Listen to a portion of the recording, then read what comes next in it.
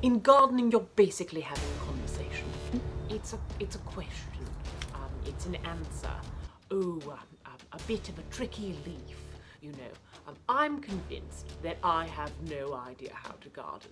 The creative place that you garden is in your head, and then you take what is in your head and you implement it into the ground. Ideas can come from a kid uh, on a bike in the Hamptons.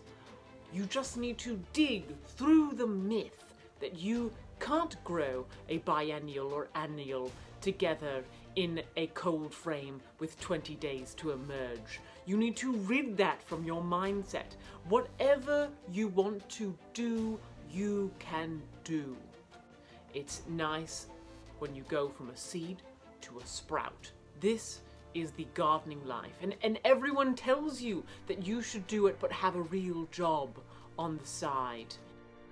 And, and when all is said and done, and when we've built the largest buildings and the highest towers and the biggest castles, there will always be a little bit of lawn, a small window box, a small victory garden that needs seeding. I'm Nancy Frizzbhen, and this is my masterclass.